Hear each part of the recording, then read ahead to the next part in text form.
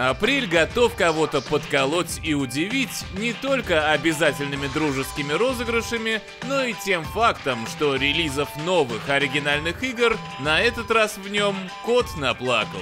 Зато дополнений, переизданий и всякого такого лопаты ешь. Поэтому, ладно, так уж и быть.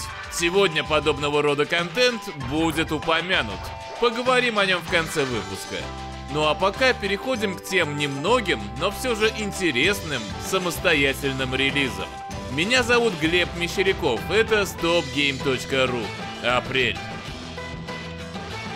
Выход Monster Back, о котором пойдет речь в начале, конечно, нельзя назвать громким событием.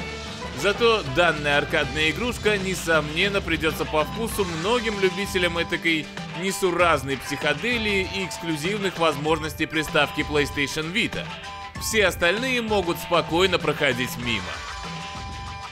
Апрельскую засуху в меру своих сил пытается смягчить компания Daedalic Entertainment, представляющая парочку адвенчур от сторонних студий. Первая носит лаконичное название Fire и отсылает нас в каменный век на помощь пещерному человеку, озадаченному поиском огня. Что интересно, история будет подаваться без слов. А вот в Dead Synchronicity Tomorrow Comes Today диалогов, судя по заявлениям разработчиков, должно хватать. Игра вообще исполнена по классическим лекалам, а в качестве примеров и ориентиров называются Day of the Tentacle, Monkey Island и Broken Sword. Хотя, надо заметить, чисто визуально квест выглядит куда мрачнее. Ну и вот, событие, благодаря которому апрелю можно простить все. Выход Mortal Kombat X. Лично у меня нет никаких сомнений в том, что игра получится не менее замечательной, чем перезапуск 2011 года. Жду с большим нетерпением и морально готовлюсь к стоп-геймовской стрим-заварушке, где нужно будет опять надрать всем задниц. Окончательный релиз еще одной реинкарнации классики 90-х, культового автомобильного беспредела под названием Кармагеддон, намечен на 23 число. Игра пробыла в раннем доступе год и обросла тысячей положительных пользовательских отзывов. И все это, несмотря на изначально скептический настрой общественности. Horror Colored будет особо интересен российскому игроку, ведь повествует он о загадочном событии, случившемся в 1959 году на Северном Урале, в месте, впоследствии названном Перевал Дятлова. Ожидаются очень качественные натуралистичные локации, а также Шон Бин в роли рассказчика. Если в свое время оригинальная Dungeons проследовала мимо вас, то спешу сообщить, что эта серия игр основывается на принципах, заложенных в свое время знаменитой Dungeon Keep. Будь плохим, отстраивай и отстаивай свое подземное королевство. Так что, если заскучали по подобным вещам, обратите внимание. Вот и все. Я же вначале говорил о том, что с релизами нынче туговато. Как и о том, что сегодня будут упомянуты дополнения и переиздания.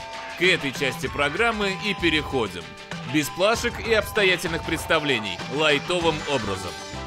Приступить к делу в дополнении Get to Work для The Sims 4 вы сможете уже 2 числа. Тех, кого впечатлил яркий хаос Sunset Overdrive, должны порадоваться пришествию Dawn of the Rise of the Fallen Machines.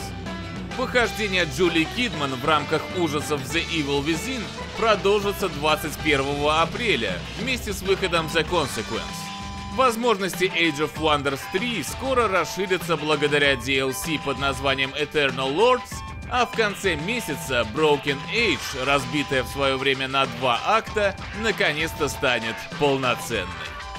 Так, это у нас были всякие дополнения и расширения. Переходим к портам и переизданиям. Словно мостик между этими областями раскорячился Dark Souls 2 Scholar of the First Sin, который и то, и другое, и третье, и четвертое. Игра State of Decay, до этого обретающаяся на компьютерах и Xbox 360, заявится и на One, присовокупив к своему названию броское словосочетание EA One Survival Edition. Ну а те, кто устал от крови, кишок и этого самого, могут обратить свое внимание в сторону переиздания Сибири для PlayStation 3.